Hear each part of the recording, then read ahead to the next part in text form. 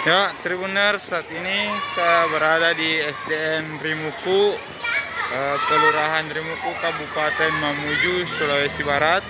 Di mana saat ini di Kabupaten Mamuju, vaksinasi anak usia 6 sampai 11 tahun itu masih dalam tahap sosialisasi.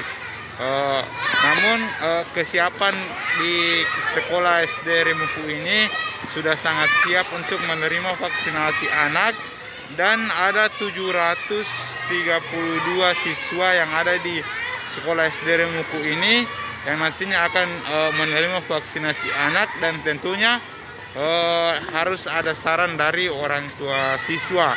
Dan seperti ini suasananya di di para siswa terlihat bermain-main.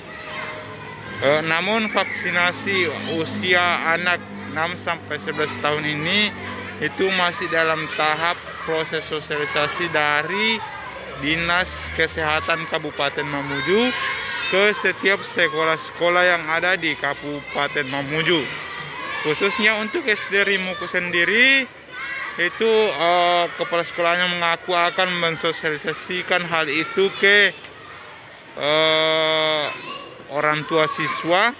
Jika dapat persetujuan dari orang tua siswa, maka anak-anak ini akan divaksin, disuntik vaksin sebanyak 737 siswa. Seperti ini suasananya Tribuners.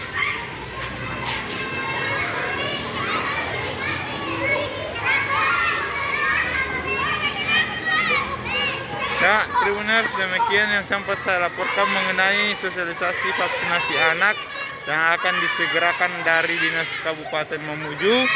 Saya pamit undur diri, tetap patuhi protokol kesehatan.